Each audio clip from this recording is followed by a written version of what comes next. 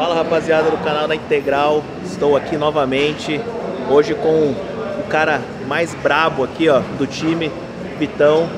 Que honra, que honra. Puxar aquele treino que honra, treinar aí, com né? esse menino fraco aqui, ó. O cara, falou, o cara falou assim, ah, eu tô de deload. Falei, ah, te conheço, irmão. E te Te vai, conheço. te vai explicar para vocês um pouquinho do que vai acontecer hoje.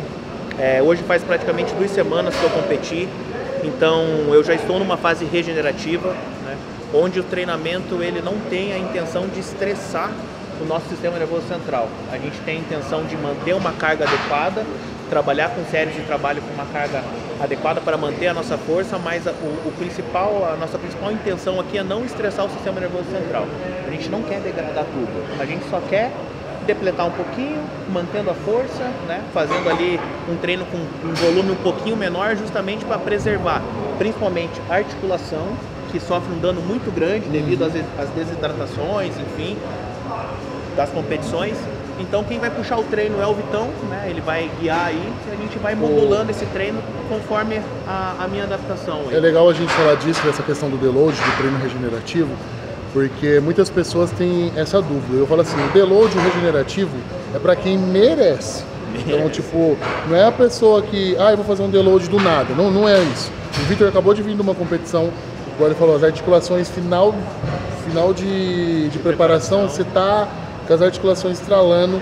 Então, assim, você precisa de um tempo para respirar, para o corpo respirar, a gente fala, para dar uma, uma melhorada. Vocês- E tem dois tipos de deload que as pessoas fazem.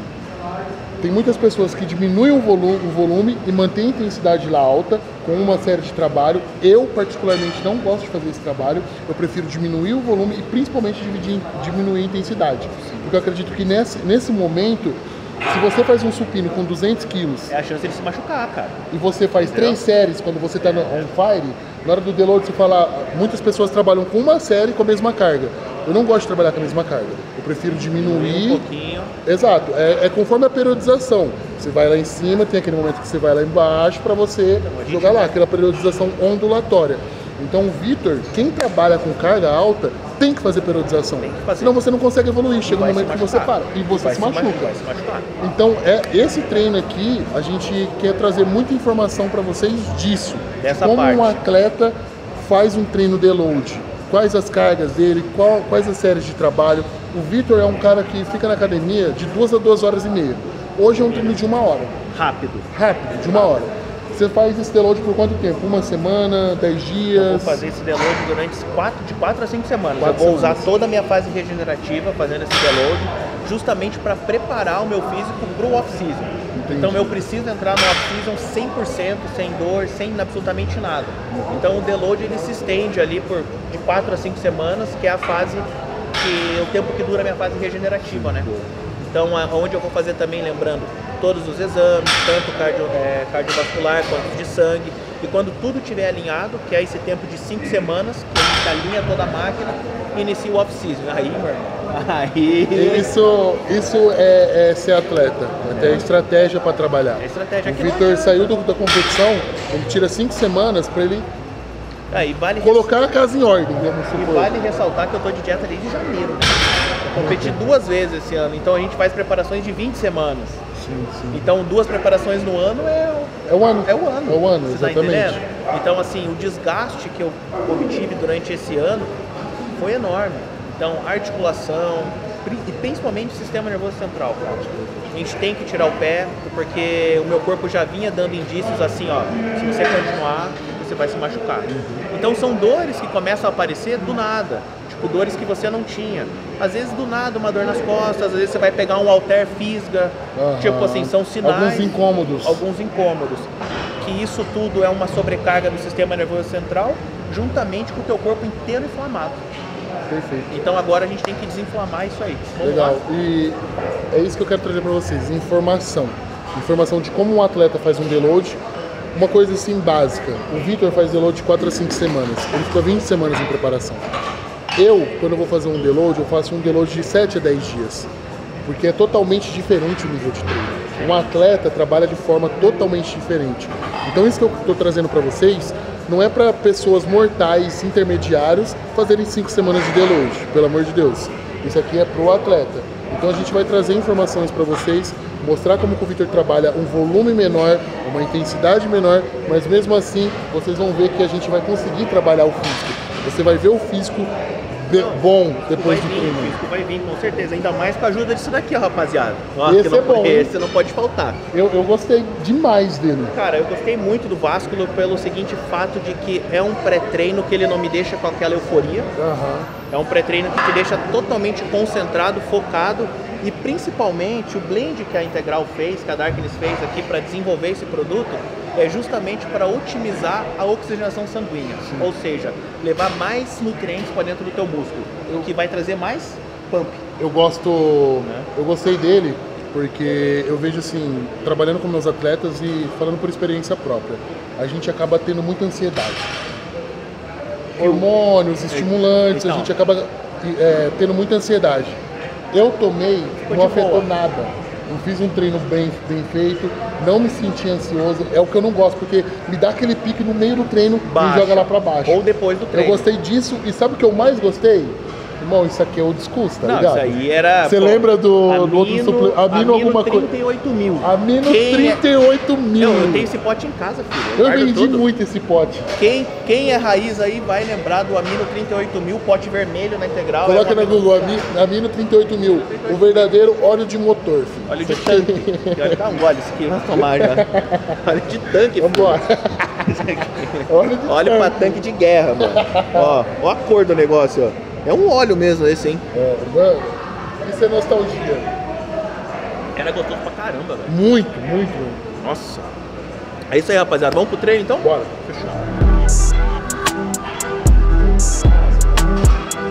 Fácil. Um, não dá nada.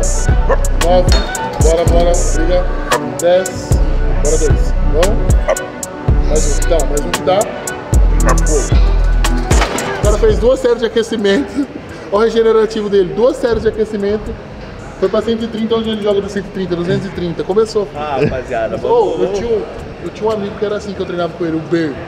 A gente Ah, começava a agachar, eu ficava ali três séries com 20 quilos cada lado, duas, três séries com, com, com 40 quilos cada lado, duas séries com 60 quilos cada lado. Na hora que eu colocava quatro placas de cada lado, ele começava. Aí, ó. Que porra é essa? Não aquece? Ele não aquece, mano. É Vai. uma loucura. Agora vai. O Não. Vitor tá. Não, não, não é que eu não aqueço. Eu tô me sentindo bem pra poder fazer isso aqui. A justa- gente, a gente não tá falando que você não aquece, a gente tá falando da sua ignorância. Da ignorância da E, sua força. e, ó, e, eu- e eu- uma coisa que eu sempre falo pro pessoal, Capial, eu nunca começo um treinamento de peito por um supino, por exemplo. A agressão na articulação e a chance de você se lascar é muito grande. Então eu sempre vou começar um exercício de peito com fly, Máquinas. com máquina, com cross, justamente para eu ter uma ativação muito boa do peitoral, uma irrigação sanguínea muito boa e um aquecimento muito bom. Isso, isso é muito legal falar. Eu gosto de começar empurrando quando é a máquina inclinada, porque aí você tem um certo conforto maior. Porém, bodybuilders, eles preferem trabalhar dessa forma. O Vitor, aqui no fly, no crucifixo, ele já vai conseguir ativar toda a musculatura do peito dele para quando ele começar a empurrar, ele sentir mais a musculatura. Ou seja, vou me preparar para empurrar. Exatamente, porque o, o- bodybuilder, por mais que o Victor seja um cara muito forte, ele não tá aqui para ficar disputando peso, como um powerlifting, um powerlifter. Então, por isso, ele acaba escolhendo essa máquina, é, co- começa o treino dessa forma, porque ele sente melhor uma ativação no peito e realmente faz muito sentido. porque eu jogo meu quadril um pouquinho pra frente, tá? Isso aí é macete do capial. Bora. Um. Dois. Três. Então. Quatro. Bora. Cinco. Vamos. Seis. Vamos. Sete. Tá sozinho, então. Sozinho. Oito. Bora. Vamos. Nove. Mais três. Fácil. Fácil. Mais dois. Vamos. Mais um. Como vocês viram aqui, ó, o Victor fez duas séries de trabalho no crucifixo. A gente já tá indo para outra máquina. Então, é, é- é uma, duas séries de trabalho no deload, já pula para outra máquina. Por isso que a gente fala que acaba sendo um treino mais rápido. Isso. Normalmente o Victor ficaria cinco, seis séries aqui para contar duas, três, até mais. No deload não. Ele, ele sentiu, aqueceu ali um pouquinho, sentiu bem, pancada. Agora o próximo exercício que então que escolhe. Vamos. Ele é o treinador, né, mano? Eu nunca fiz essa máquina. E só de ver o capial realizando o movimento, eu já identifiquei que a amplitude dessa máquina, ela não é tem- interessante, olha aqui. não tem como eu fazer a amplitude máxima dela. Olha aqui como eu fico. Aí, ó. Já perde o alvo. E você aí- está tirando do peitoral, que é o músculo alvo, e está jogando toda para articulação. Capial, você não concorda comigo uma coisa? Índice de lesão. Aonde que o cara se machuca? Na extensão do movimento. O cara não tem tanta mobilidade, ele começa a fazer o exercício com muita carga, travou o exercício, o que, que ele faz? Chacoalha. Nessa chacoalhada, Pam! que a máquina volta, rompe. Então, presta atenção nisso. Essa aqui é uma Rompe, máquina. inflama, traz qualquer tipo de lesão. Essa é uma máquina que pra mim e pra 99% dos bodybuilders não dá pra fazer amplitude completa. Não tem como, Não tem como. exatamente. Tanto que essa máquina eu peço até, ó, eu ajudo o Vitor a tirar o Ele peso. vai ter que me ajudar a tirar e pra guardar Ele começa em pé, até- Aí, ó. É aqui, ó. aí foi. E também na hora que acabou, ó, parou aqui e solta. Solta. Não tem como deixar lá embaixo. Bora. Ô, então. Dois.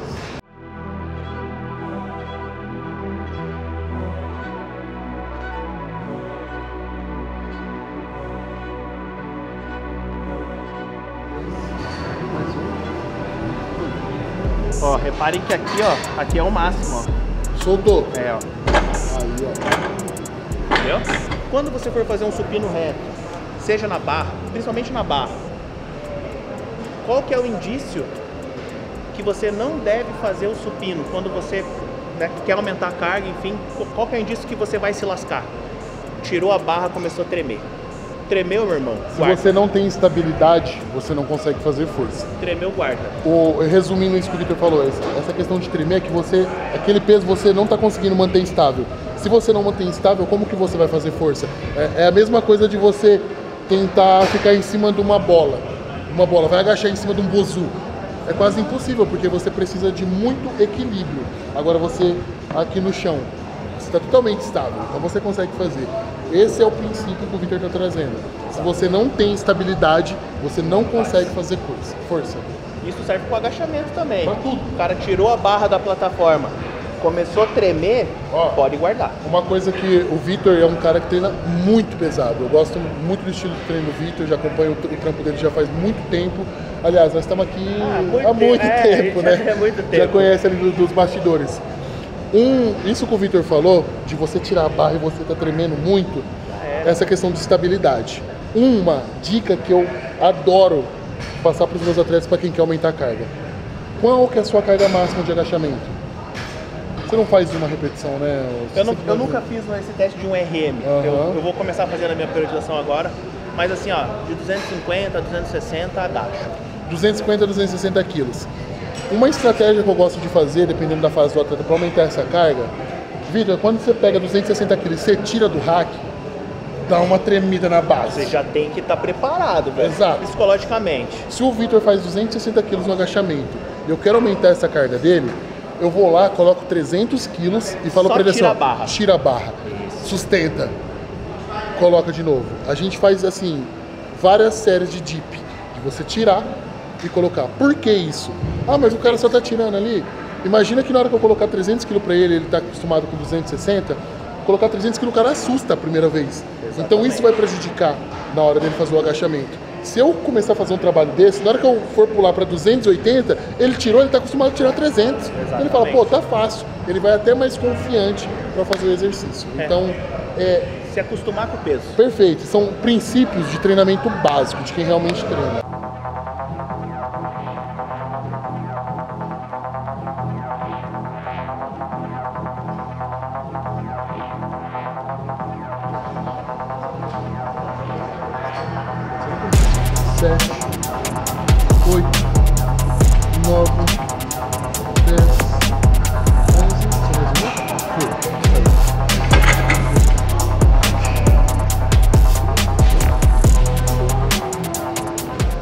De exercício: Aí é o school. supino levemente declinado. Você pega uma anilha e aí você coloca na parte da frente.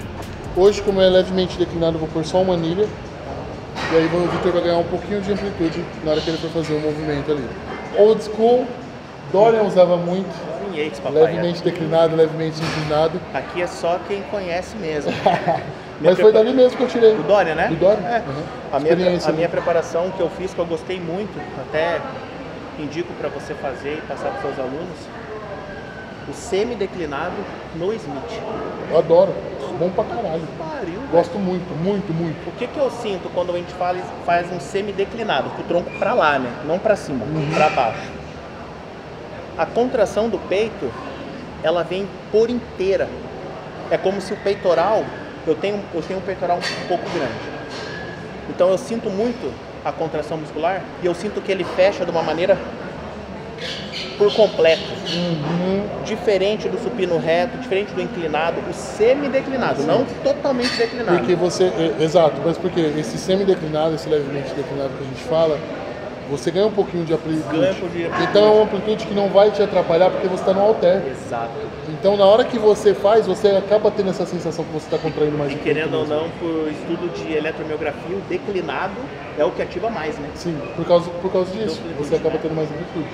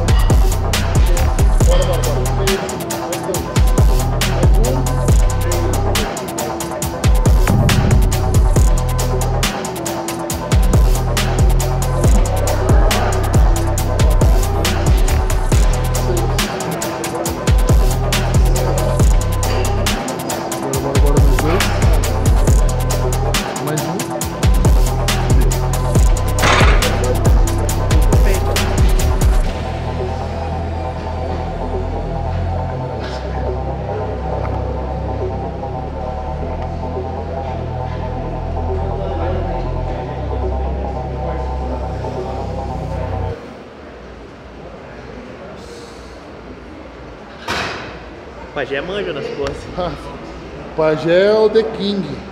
Pajé tá, tá falando de pose fim antes de saírem as poses. É o, é o pré-histórico do bodybuilding. O Pajé é o pré-histórico do bodybuilding. Pajé, tem alguém, Pré-histórico. tem alguém que veio antes de você que tá em ativo ainda? Pinduca. Pinduca. Nossa. Veio muito tempo antes. O Pinduca era o diretor de arbitragem, daí tiraram ele e me colocaram no lugar. né? Então ele veio um pouco antes de você. antes. Pinducão, parceiro nosso também, mas. Que a gente boa, hein, Porra pra caralho. Eu podia ter duas funções. Então, como ele era presidente da FB São Paulo, daí ele ficou como presidente e eu entrei no lugar dele. Entendi. Aí, ó. Os pré-históricos, Pinducão e Pajé, filho. Cara, o Pajé foi um cara que acertou minha pose de lado. Eu achava minha pose de lado ruim, porque eu não tenho uma certa mobilidade para girar o tronco. Um ajuste. Um ajuste que ele passou pra mim, a pose talvez possa ser uma das minhas melhores poses hoje, né? Hoje é. Hoje uma das minhas melhores poses é a pose de lado. Por isso que eu falo, o atleta tem que se preocupar absolutamente com tudo. Não só com o treino e com a dieta, principalmente com as poses. Se você tem um físico poderoso e não sabe mostrar, Seis, lá em cima, vamos. Sete, com você, mais cinco, um, mais quatro, bora. Três, dois, mais um. Foi.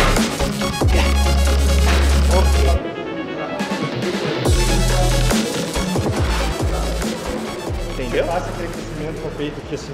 Eu não consigo nem contrair. Assim, ó, dedo aqui, Não consigo nem contrair o peito. assim, vai. Até o final, isso vai, vai. Até o final e puxa. Vai. Isso, lá na frente. Uh, aproveita bem o giro. Aí. Nossa, mas já tá dando pra caralho. Hoje ele fez eu fazer isso aqui lá no campeonato. Explodiu o peito. Ô, Faz sete, sem roubar, sem roubar. Joga lá atrás, lateral e depois joga pra frente. Aí. Vamos.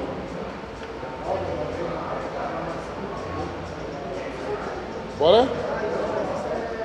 Mais dois de cada. Bora, Vitão. Puxou. Mais um de cada. Mais outra. Foi. Descansa. porra. Confesso que eu nunca tinha feito dessa forma, cara. Porra, gostei pra caramba. Sente muito, né? Não, olhe. Tra- Não, travou, travou meu Não, esse detalhe é que ele sempre tá desencaixado, né? Quer ver se a gente calma, relaxa?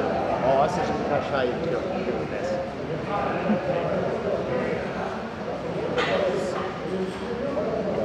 Cara, travou meu ombro. Juro por Deus. Você viu? Ele é tão humilde que ele sempre tá assim, ó. Se ele fizer isso aqui, ó. É até, isso é até na execução. Tá? Na pose você tem que o quê? abrir. Eu quero você a isso mesma coisa na execução. Isso, Abrir então. Isso. Por isso que eu falo pra você jogar o quadril um pouco pra frente e manter lá. Porque você vai ter mais. O. Porque você consegue trazer mais. Sabe, arrebentou meu ombro. Parece que enfiou duas facas, né? Foda. Para. Sete. Só mais três de cara. Porra, vamos, tu fez peito. Bora, bora, bora, bora, bora, bora. Mais dois de cara. Então, tá fácil pra você, porra. Vamos brigar, vamos brigar. Bora. Isso, só mais um. Vamos. Só mais um. Vamos. Finalizou. Aí, moleque. Cara, pega diferente esse exercício.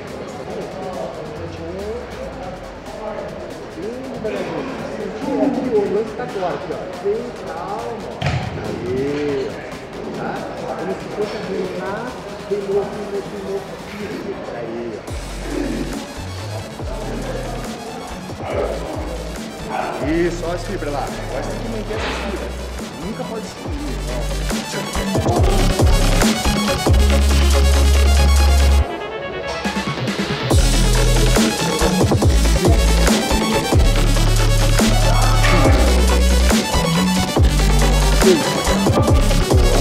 Vamos. Seis. Então, é mais. Sete. Sete. Mais. Vamos. Oito. Bora, bora. Vamos puxar, vamos puxar, vamos puxar. Isso. Só duas, então já era. Vamos, irmão. As melhores. Lá em cima, porra. Vamos. Isso, lá em cima. Vamos dar o melhor agora. Só mais um. Finalizou. Bora. Uma de bônus, uma de bônus, vai. Uma de bônus. Só mais uma. Só mais uma, a melhor. Vai. A melhor, porra. Lá em cima, Vitor. Aí. Ok. Sai pesando já. Porra, sai pousando. ah, tipo o Rene, né? Que ele pede pra. Que no verão nós já. Opa, isso aí. O pajé gosta disso aqui, ó. Pessoal, ó. A luz tá aqui, ó. Bizarro, velho. Expansão daquela que você fez. Subindo, subindo. Do jeito que você fez, não fez nada.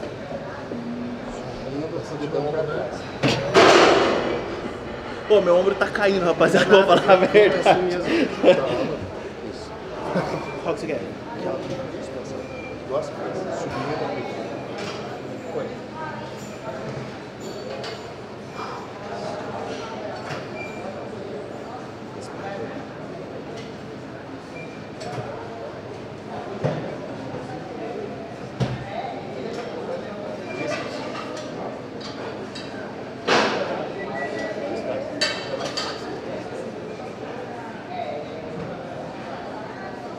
Dá um passinho pra frente. Vai.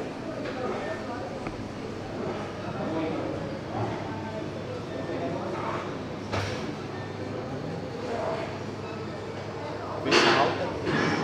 Tchau. Joga pro cima.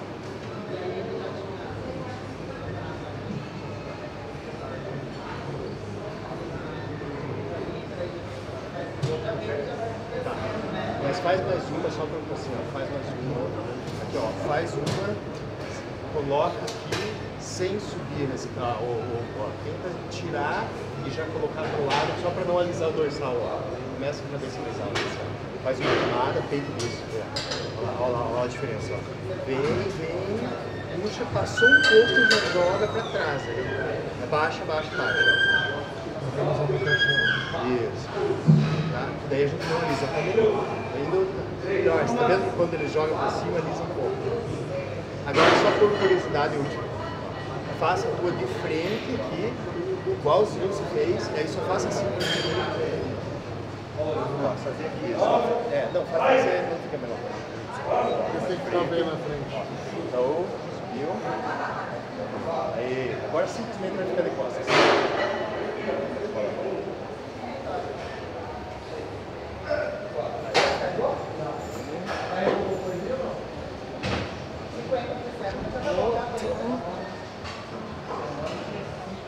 Negócio. Aí, ó. Agora baixou. Aham. Aí, ó. Aí, olha só. É, cara, nenhuma coisa fica exatamente igual a outra. Louco, né? 10 poses que o cara faz, 10 fica diferente, irmão. Isso eu demorei pra entender também. Rapaziada, como vocês viram aí, foi um treino bem simples. A gente tentou explicar um pouquinho do deload do, do Vitor ali. Hoje, era ver mais o físico dele mesmo. O Pajé que vem acompanhando as poses dele, melhorando muito as poses dele. E me surpreendeu o físico do Vitor, tá muito, muito, bem, muito. Deload tá sendo bem feito. Você vê que ele consegue puxar muito mais carga, mas esse não é o intuito de agora. Mas realmente, Vitor, parabéns. Subiu quantos quilos? Cara, eu tô com 100, 110, 109. Sete, oito. É, então, na verdade, que eu tava falando assim, como eu acho que eu fiquei muito tempo em dieta, por mais que eu segurasse a dieta de uma forma controlada, meu, meu corpo tava necessitando demais. Por isso que o peso, sabe, Tá ali. veio essa, essa super compensação muito rápido, né? Mas veja que é um rebote controlado. Muito, O que eu falo com rebote controlado? Eu não sinto dor nas costas, eu não tô com a cara desse tamanho, eu não tô com as mãos e os pés inchados, então. Não tá, tá um pouquinho, né? Mas, Pajézão já não tá, né, mas, Pajé? é, mas, mas já teve rebote Tá louco de não pôr tênis. De eu não conseguir colocar o tênis. mano. Coloca. Rapaziada, final de vídeo aqui. Já quero agradecer ao meu mano Capial. Cara, Isso, mano. de verdade, eu gostei muito de treinar com você. Foi nosso primeiro treino junto. A gente já é amigo de longa data, mas a gente nunca teve oportunidade de fazer um treinamento junto. E eu fico muito honrado, muito feliz de ter dado essa oportunidade. Né? O Pajezão sempre comigo também. Toda a galera da Integral. Como eu sempre falo, eu sou muito grato por estar fazendo parte da equipe novamente. Como eu já, eu já falei, eu já fiz parte dessa equipe por motivos ruins, eu acabei saindo, porém eu retornei. E algo que eu sempre falo pro Donaire, que eu nunca mais vou sair da empresa, pela minha capacidade e pelo meu esforço, isso eu vou provar para vocês dia após dia. E hoje eu me sinto muito feliz, emocionado de estar fazendo parte da família, me sinto muito bem acolhido, me sinto como uma família mesmo. Você sempre que quando me viu, sempre me tratou muito bem, Pajé sempre me tratou muito bem. E toda a galera da Integral que está tendo uma, uma recepção muito boa minha aqui no canal, né? Só comentários positivos. Eu agradeço muito a todos vocês. Peço que continuem comentando, peço que se inscrevam no canal, comentem, nos sigam nas redes sociais e coloquem aí o que vocês querem ver. Eu estou à disposição para fazer conteúdo para vocês, junto com o Capital, junto com o Pajé, toda a galera aqui de Curitiba, São Paulo, enfim. Hoje para mim foi um dia especial, muito especial por sinal, porque acabando, querendo ou não, nos torna mais próximos, né? Esse tipo de conteúdo. E é isso que o nosso time precisa, cada vez de mais união, mais proximidade, porque sozinho ninguém chega a lugar nenhum. E todos nós juntos chegamos muito mais longe. Capial, muito obrigado pelo treino. Pajé, não tem nem o que falar. Pajé é meu grande Não, ele ficou gigante, vocês viram na imagem, então tá deu tudo certo. E como a gente falou lá em São Paulo, a gente vai estar fazendo um treinamento de pose, tudo que tem para melhorar semana após semana, pensando já em 2023. E uma coisa eu prometo para vocês: 2023 eu vou voltar totalmente renovado, incontestável, com a ajuda desses caras aqui. Bora. A gente vai longe, moleque. Com certeza. Isso é um compromisso que eu tenho comigo, com a empresa e com todos vocês. Os, rapaziada, ó, eu- o que vocês tiverem de dúvida, o que vocês tiverem de indicação de vídeo de treino aí com o Vitor, se é informação, treino pancadaria, comentem aí que a gente quer trazer a informação que vocês querem. O que vocês têm dúvidas, manda pra gente que a gente vai sanar todas as dúvidas.